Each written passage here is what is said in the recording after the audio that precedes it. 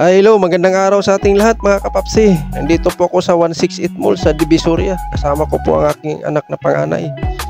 May nahanap lang kaming costume sa anak kong bunso.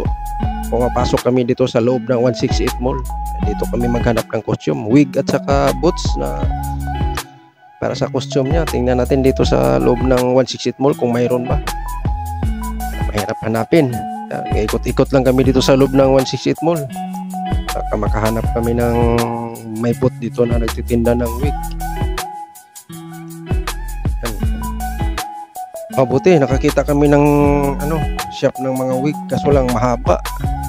Ay yung hinahanap namin yung maiksi mga kapapsi. Yan yung anak ko ang naghanap. Eh, ito sana maganda sana kulay pink. Kaso lang mahaba. Sayang naman putulan mo. Eh, isang gamitan lang. Kaya nag-ikot muna kami na nag-ikot uh, makahanap kami ng yung tuma, tamang tama talaga sukat. Sayang kang puputulan mo. Mayroon kulay pink yung hinahanap namin. Kaso lang mahaba yun. Yan kasama ko yung aking anak panganay. Wala kami mahanap mga kapapsi. Lumabas kami. Subukan namin dito sa mga iskinita. Kasi marami nagtitinda rin dito. Ito po mga kapapsi. Dati itong lugar na to hindi mo malakaran yan. Sa sobrang daming vendor yan ngayon tingnan mo napakalinis na maganda at saka maluwag yan po ang harapan ng 168 Mall, Tutuban. Yan, karugtong na sila yan.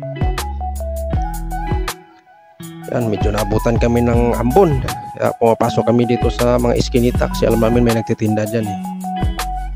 Sa mga gilid-gilid lang yan. Hindi lang namin tinudo pag-ikot mga kapapsi dahil medyo maambon, masama ang panahon. Yan, ang anak ko nakatulokbong na lang ng panyo. Wala kaming dalang payong kasi ang ganda ng panahon kanina. Ay biglang umambon. Biglang umulan. Yan, dito, ikutin lang namin to dito mga gilid-gilid dito. Baka mayroon kaming mahanap. Yan. Yan, napakaluwag, napakaraming paninda. Wala kaming nahanap mga kapapsi, kamamsi. Sumakay na lang kami ng jeep. Kasi mas yung maambon. Antay na lang kayo namin na papupuno yung jeep.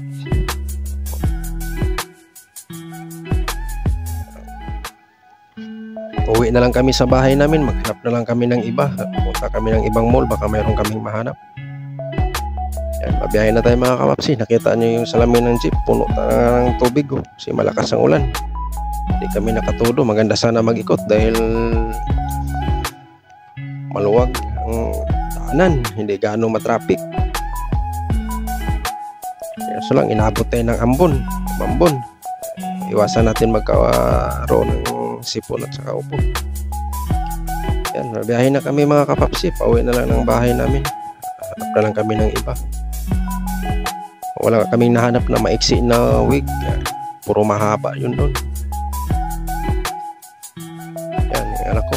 Sabi ko.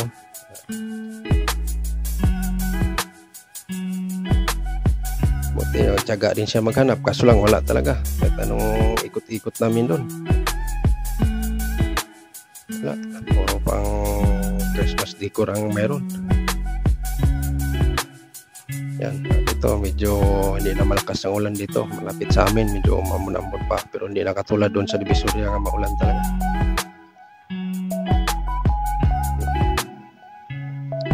Malapit na kami sa bahay namin mga paps yan, medyo kuya nakakaputi pa may ambon pa rin. Hindi na katulad na nakaraan na malakas ang ulan.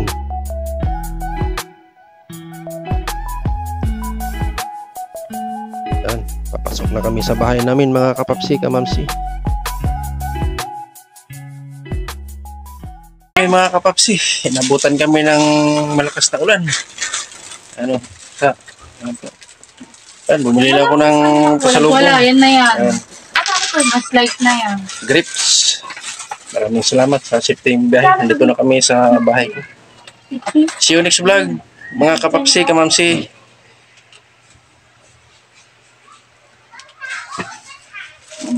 Ako po yung muling nagpapasalamat sa inyo sa lahat ng tulong nyo suporta sa akin.